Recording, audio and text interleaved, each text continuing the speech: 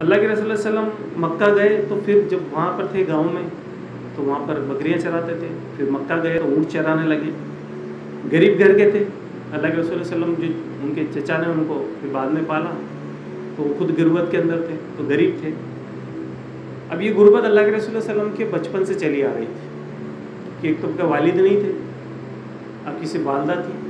फिर दादा के पास रहे फिर चाचा के पास रहे चाचा भी, उन चाचा के पास में आए अब ज़िम्मेदारी आपको मिली जो सबसे ज़्यादा गरीब थे चाचा उनको आपको ज़िम्मेदारी दी गई। तो गुर्बत थे। अब ये बहुत गरीब थे तो उनका गुजर मुश्किल से होता था। तो अल्लाह के रसूल कुछ चचा की मदद करने के लिए ऊँट चलाया करते ताकि कुछ जो है इनकम हो जाए। अब ये उसके बाद में है कि एक बार ये हुआ कि जिनके ऊँट अल्लाह के रसूल चराते थे वो हज़रत खदीजा रज़ी अलाना की उनकी पहली बीवी थी, उनकी बहन थी वो, जिसके आप जो है ऊँट चराते थे। तो ऊँट के ऊँट चराते थे तो अब ये होता था कि जब शाम को पहुँचते थे तो ऊँट उनके घर पर ले जाके बाँध देते। और जो उजरत, जो दिन भर उनका मेहनताना होता, वो ले लेते ले लिया करते थे। तो इसी तरह एक बार जब वो खदीजा रज़ी ताला वहाँ पर जब बैठी हुई थी, उनकी बहन के यहाँ पर, और इधर से अल्लाह के रसूल वसल्लम और ये सब ऊँट उन्होंने लेकर आ गए। तो अल्लाह के रसूल उनके कुछ अल्लाह के रसूल जो साथी थे, जो उनके साथ में चरवाए जाते थे ऊँट चराने के लिए वो आए। और आकर उन्होंने कहा कि, उजरत दे दो हमने ऊँट बाँध दिए, चरवा, चरा दिया उनको। तो उन्हें कहा कि, ठीक है, उजरत उनको दे दी। उन्होंने कहा कि, मोहब्बत, मोहम्मद की भी दे दो, सल्लल्लाहु अलैहि वसल्लम, कि उनकी भी दे दो। तो हज़रत खदीजा ने कहा कि, वो कहाँ है? वो क्यों नहीं आते? उसकी बहन से पूछा। वो नहीं जानती थी कि कौन है वो। तो उन्होंने कहा, वो क्यों नहीं आता? उजरत लेने के लिए आप ये दूसरा जना मांग रहे तो फिर उनकी बहन ने कहा कि वो नहीं आता है, वो आते नहीं हैं वो बहुत शर्मिले वो औरतों से कभी बात करते हैं। तो फिर कुछ तारीफ़ बयान की उनकी बोले बहुत ईमानदार है, बहुत बाकिरदार आदमी है, अखलाक पसंद आदमी है, पाकिज़ा है। अब ये जो बातें हज़रत खदीजा रज़ी के, उनके पहली बार उनके सामने आई। हालाँकि खुद वो कुरेश की थी, कुरेश कबीले की थी, वो जानती, इतना जानती होंगी कि हाँ कोई एक बच्चा है, यतीम है, जिनके माँ बाप गुजर चुके हैं। इतना जानती होंगी, लेकिन ये बातें उनकी सिफात उनको पहली बार उनको मालूम पड़ी कि तो खदीजा, हज़रत खदीजा, ये जो अरब के अंदर बहुत मालदार औरत में थी, यानी सबसे मालदार औरत थी। वैसे तो आमतौर पर क्या है कि औरतों के पास माल नहीं होता था वहाँ पर, क्योंकि औरतों के वहाँ पर ज़्यादा हुकूक दिए नहीं जाते थे विरासत में उनको कुछ मिलता नहीं था। तो उनके पास, लेकिन इनके पास में था, बल्कि तो वहाँ पे तो इतनी जहालत फैली हुई थी कि अगर अरब के अंदर उस वक्त अल्लाह के वसल्लम नहीं आए थे उससे पहले कि अगर किसी का बाप मर जाता और अगर बच्चे जवान होते तो वो क्या करते हैं कि उसकी माँ को तो छोड़ दें लेकिन जैसे उसकी सोतेली माँ है, एक उसके बाप की अगर दो तीन बीवियाँ हैं तो सोतेली माँ है तो उससे भी निकाह कर लेते ताकि वो जायदाद उधर जाए ना, उसके बच्चे वो उधर कुछ तकसीम ना हो जाए, चली ना जाए। कुछ देना तो पड़ेगा तो वो ना जाए तो इसलिए खुद ही वो उससे निकाह कर लेती जहालत यहाँ तक थी। और विरासत जो है सारी वो मर्द खा जाते थे वहाँ पर। तो फिर हिस्सा उनको मिलता नहीं था औरतों को लेकिन ये हज़रत खदीजा के साथ में ये हुआ कि इनके दो शोहर हुए। पहले शोहर के पास तो इतना माल नहीं था, जो गुजर गए लेकिन उसके बाद में पहले वाले से औलाद थी उनकी। बच्चे थे, हज़रत खदीजा के। दूसरे से नहीं थे, दूसरे का नाम उनका था अतीक। अतीक नाम था उनका। और वो बहुत मालदार शख्स है। तो उनकी उस उनके बाद जो इनसे कोई औलाद नहीं थी। ना उनका कोई रिश्तेदार था। तो जब उनका इंतकाल हुआ तो सारे का सारा जायदाद तो पूरी हज़रत खदीजा के पास में आ गई। तो हज़रत खदीजा ने फिर ये किया कि उनका हिस्सा मिला उनको। तो उन्होंने फिर जो है इस माल को बिज़नेस में लगाया और उससे बिज़नेस को इस उन्होंने इससे बढ़ाया। तो इस तरह से उनको माल मिला नहीं तो अरब में उस वक्त के अंदर औरतों के पास में माल होता ही नहीं था, जायदाद होती नहीं। और दूसरी चीज़ ये कि औलाद नहीं थी, इसलिए भी मिली। औलाद होती तो फिर भी नहीं मिलती। अगर उनकी कोई औलाद होती अतीक तो फिर इनको कुछ भी नहीं मिलता, सब औलाद को चला जाता ये वहाँ पे जो है ट्रेडिशन यही था, बना हुआ था। और ये तो खैर आज भी बना हुआ है। उस वक्त क्या था? आज भी मुसलमानों के अंदर बना हुआ है। लोग बहनों की शादी करते थे बहनों का हिस्सा देते ही नहीं, कोई नहीं देता। मुझे तो बहुत मुश्किल किसी ने दिया हो। मिसाल के लिए भी पेश नहीं कर पा सकते। हम कुरान की आयत है या कुरान के बारे में, हदीसों के बारे में हम जब बताएँ किसी को गैर मुस्लिम को कि देखो, यहाँ तो बहनों का हिस्सा है, देना पड़ता है उनको जायदाद में हिस्सा देते हैं। वो कहते हैं, चलो बताओ, एक मिसाल तो दो। किसको दिया तुमने? मोहल्ले में से किसी ने किसी को दिया? हमारे पास मिसाल पेश करने के लिए भी नहीं है, क्योंकि हम भी नहीं देते। तो जहालत तो वो थी, वो अभी तक गई भी नहीं है। नहीं देते। वो उसके अंदर फिर बहाने बनाते। हम उनको शादियाँ कर ली, इनकी शादियाँ करा दी, दहेज दे दिया, अच्छी धूमधाम से शादी करी, बड़ी। ये रिसोर्ट किया था, या फला ये किया था तो उसमें खर्चा कर दिया, अब हो गया, ये हो गया इनका हिस्सा। अगर यहाँ एक मैं आपको बात बताऊँ, अगर बहनों से, कि औरतों का मिजाज अलग होता? अगर आप करके देखें तो उनसे कि आपको ये चाहता ना कि यार हमारी बहनों की वजह से मजबूर हो जाता कि इनकी शादी में सब बिदतें करनी पड़ेगी, हल्दी, मेहंदी, फलाण, ये सब चीज़ें करनी पड़ती है। तो ये काम करके देखे आप, उनका एक तो हिस्सा दे ईमानदारी से क्योंकि पूछा जाना ये तो देना ही है। अल्लाह पूछेगा आपने फिर किसी का हक मारा तो दिया।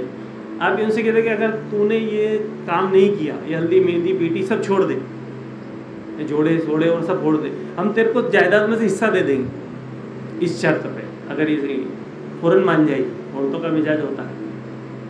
वो मान जाएगी, बोले अच्छा ये सब छोड़ दो और इससे बदले में तुम बरोबरी की जायदाद दे दोगे।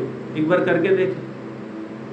ये भी हो सकता है। तो असल में तो क्या है कि वो जहालत अभी बाकी अभी भी नहीं देते लोग। हज़रत खदीजा जो थी, ये बहुत फहम और फिरासत वाली औरत थी। फिरासत किसको कहते दूर अंदेशी आगे की सोचने वाली। तो ये फिरासत वाली खातून थी और इन्हें जो पैसा था इनके पास में सब बिज़नेस में लगाया। मक्का के अंदर मेले लगा करते थे, लोग आते थे, वहाँ से माल खरीदती थी और माल खरीदने के बाद में फिर खुद तो नहीं जाती थी, लेकिन मर्दों को भेजती थी, उनको कमीशन के ऊपर रखती थी और अपने माल तजारत बाहर भिजवाती थी।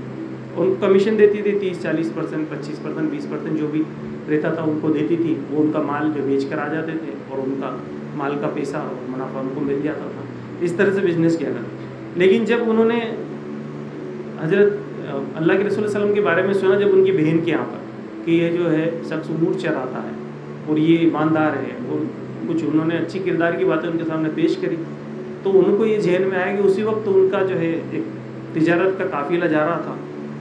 तो उन्होंने कहा कि मैं इनको भेज देती हूँ। इसके बारे में सुना मैंने तो इनको भेज देती हूँ। तो बशरा जो जाने वाले थे तो वहाँ पर उन्होंने भेजा। तो अल्लाह के रसोल वसल्लम के मुतासर हुई थी उनकी, जो उन्होंने तारीफ़ की उनकी बहन ने। तो उनको खेलवा भेजा के, और ये भी खेलवा भेजा कि, उनको वो, अब इनको तीस चालीस परसेंट दी बोले कि वो आएँगे तो उनको पचास परसेंट दूँगी आधा कमीशन। जितने माल बेच के आएँगे उसका आधा पैसा। मैं उनको दूँगी। तो उन जब खबर पहुँचेगी अल्लाह के रसोल वसलम के पास में तो अल्लाह के रसोल वसलम ने कहा कि ठीक है, मैं जवाब देता हूँ। वो गए और चाचा से पूछा, और अबू तालिब से। इस तरह से ये औरत है, खदीजा और बिज़नेस करती है, और मेरे को कह रही है कि मेरा माल लेकर बेच का फिफ्टी परसेंट कमीशन दूँगी। तो अल्लाह के जो ये रसूल वसलम के चचा जानते थे क्योंकि मशहूर थी, उसके अंदर और अच्छी औरत थी सब जानते थे उन्होंने फ़ौरन हाँ के दिया कि जाओ। लेकिन बात ये भी देखने की है, हालाँकि जवान थे अल्लाह के रसूल वसलम उस वक्त तो उनकी उम्र होगी बीस बाईस साल की। जब आपने उनसे शादी की तब आपकी उम्र पच्चीस साल थी तो उससे दो चार पाँच साल पहले का वाक्य होगा। लेकिन ये बात ये भी देखने की है कि आप उसके बाद भी चचा के पास जा रहे हैं, जबकि आप जवान थे और आपको किसी से पूछने की ज़रूरत नहीं है। लेकिन फिर भी पूछ रहे मशवरा लेने जा रहे हैं अपने चचा से कि काम करो कि नहीं करो ये भी किरदार अल्लाह के रसोल्लम का हमको मिलता है।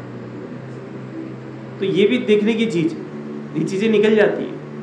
तो ये भी देखने का है कि हर चीज़ के अंदर वो उनके चचा से मशवरा कर रहे थे उनसे उन्होंने इजाज़त ली और फिर गए। और उसके बाद जो है तो खदीजा रज़ी ताला के पास में पहुँचे तो उन्होंने क्या करा? उनका एक गुलाम था, जिसका नाम था मेसरा।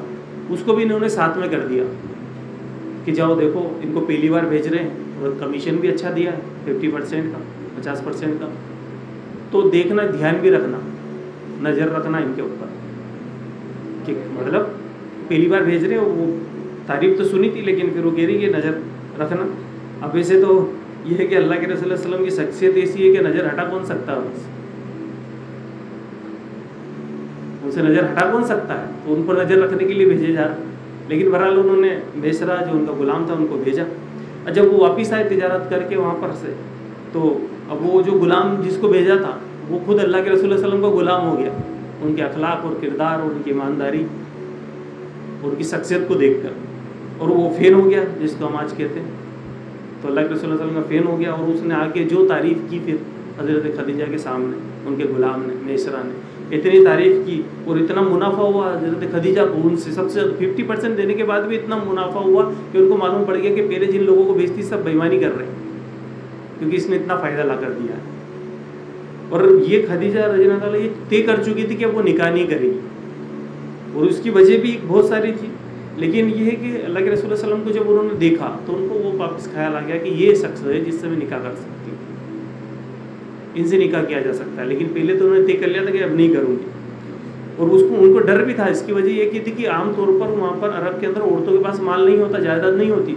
तो उनको ये भी डर था, अगर मैं किसी से निकाह कर लूँ और मेरी शायदी जायदाद हड़प ले, और वहाँ पर कोई कानून भी नहीं था, अगर वो छीन भी ले तो कोई वापस भी नहीं दिला सकता।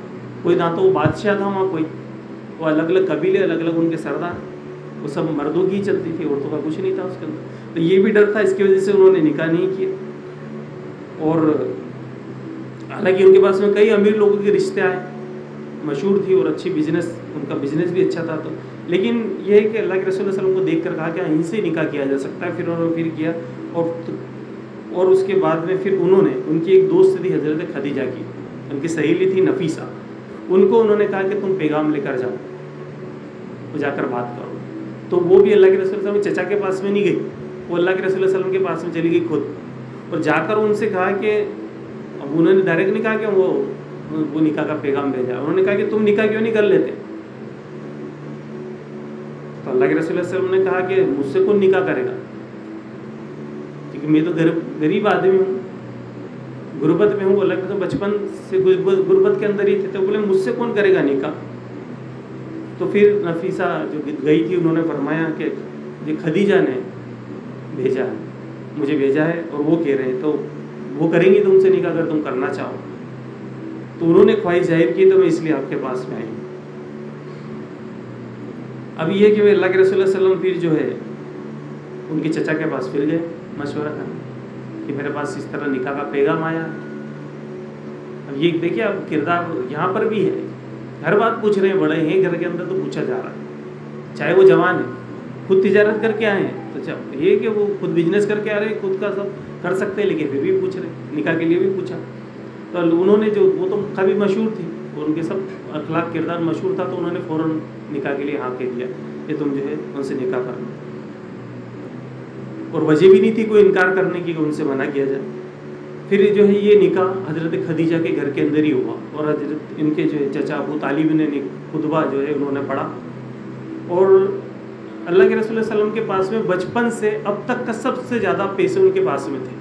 क्योंकि वो तिजारत करके आए तो 50 परसेंट का कमीशन हुआ था और जितना माल ले गए थे सब बिक गया था। और इसी बिना पर हज़रत खदीजा ने कहा था कि ईमानदार शख्स में शादी कर सकते, निकाह कर सकते। तो उनके पास में माल था। तब अल्लाह के रसूल वसल्लम ने बीस ऊँटनियाँ उनको मेहर में दी। फिर उसके बाद इतना बड़ा मेहर आपने किसी को नहीं दिया।